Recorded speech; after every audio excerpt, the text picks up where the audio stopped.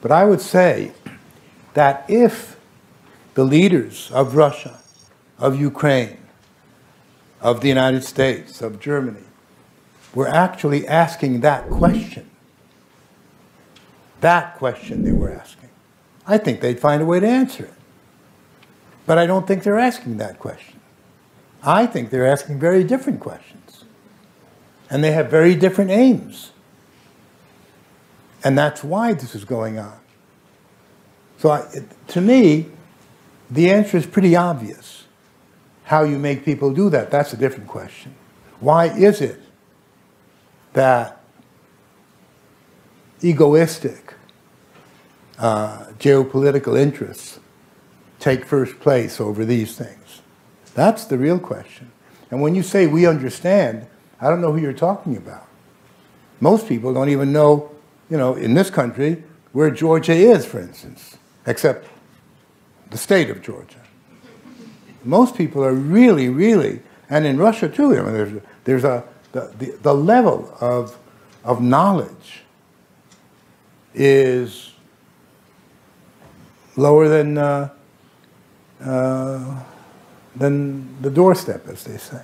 So there is no effort, and the media does not play that game at all. It doesn't say, how do we stop? It says they are to blame. And that's it, and on both sides.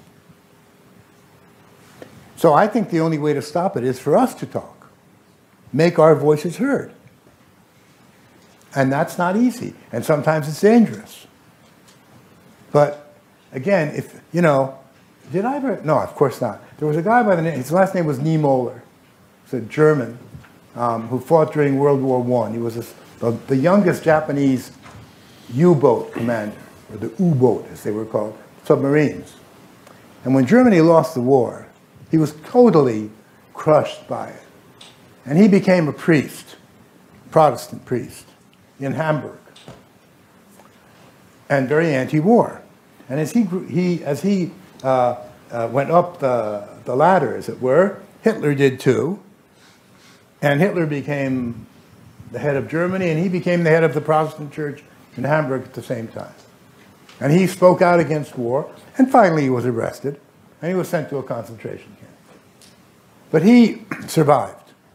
And when he came back, he wrote a book. And in that book, there's a passage that I know by heart because I think it's one of the most important and powerful things I've ever heard. He wrote, when they came for the Jews, I didn't say anything because I'm not Jewish.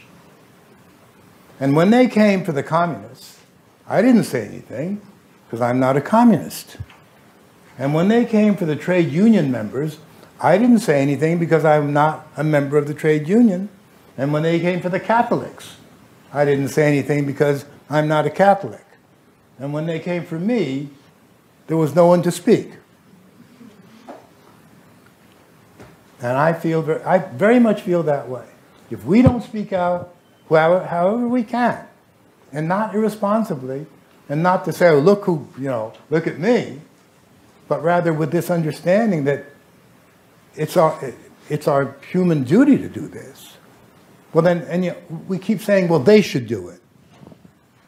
That's certainly very Russian. They should do it. And if they don't, then what? So that's really, that's my view. And it's an idealistic view perhaps, but that's the way I look at it.